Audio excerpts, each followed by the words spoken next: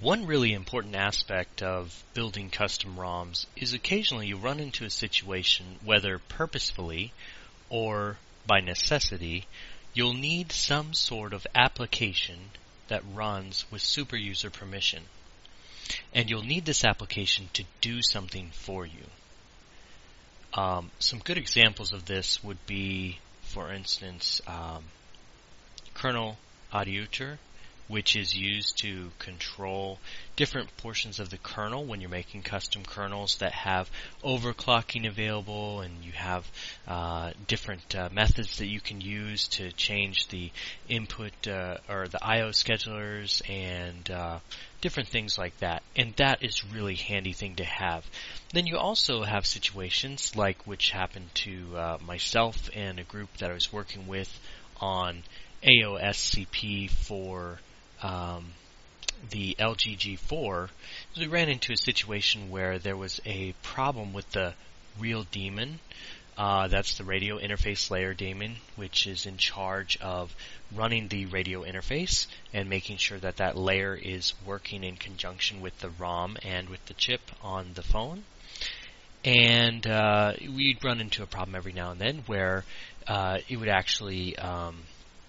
stop working properly, and so you would need to run a command from the terminal that would do something for you to stop the RIL daemon, and then start the RIL daemon again, and then once again you would have uh, cellular connectivity like this little LTE um, up here. So you'll run into situations like that where you, you might either purposely want something that uh, can be controlled with super user control, or you might um, have something that out of necessity needs super user permission uh, to do something. Now, granted, I, I submit to you that uh, you would want to fix your ROM's problems so that way it actually worked without needing super user permission to do anything. However, there's a, a lot of benefits that you can uh, glean from having a little bit of super user permission to do a few things. And obviously, a lot of people on XDA and, and abroad use things like Magisk,